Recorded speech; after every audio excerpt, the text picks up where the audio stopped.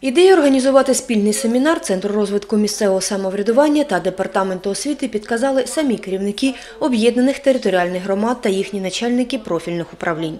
Постійне спілкування в телефонному режимі відповіді на всі запитання не дає, тож вирішили зустрітись і обговорити всі проблеми спільно.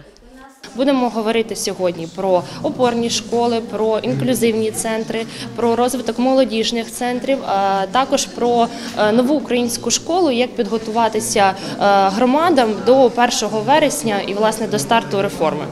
Дорошівська ОТГ була створена рік тому. Об'єднує всього два населених пунктів, тож шкіл, дитячих садочків теж по два. Зараз настало вже питання створювати відділ освіти. До цього ми передавали субвенцію в районний відділ освіти, але е, зараз громада вирішила, що нам потрібен свій відділ освіти, культури, молоді та спорту. Так як це для нас новий шлях створення відділу освіти. У нас дуже багато питань. Ми постійно консультуємося з департаментом освіти. Ми дзвонимо до колегам іншого ОТГ. Але сьогодні той розпорядок денний, який є, він нам дуже цікавий.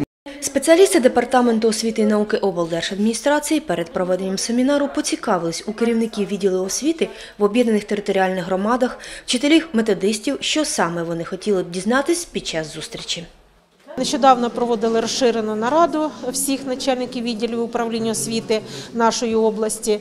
На сьогодні е, їх у нас уже 52 територіальних одиниці, 28 об'єднаних територіальних громад і 24 міста і района.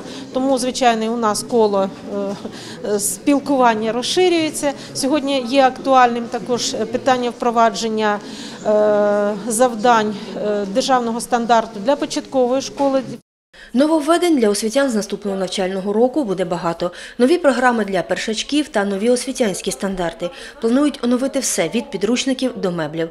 Для цього з державного бюджету виділено субвенцію в розмірі 40 мільйонів гривень.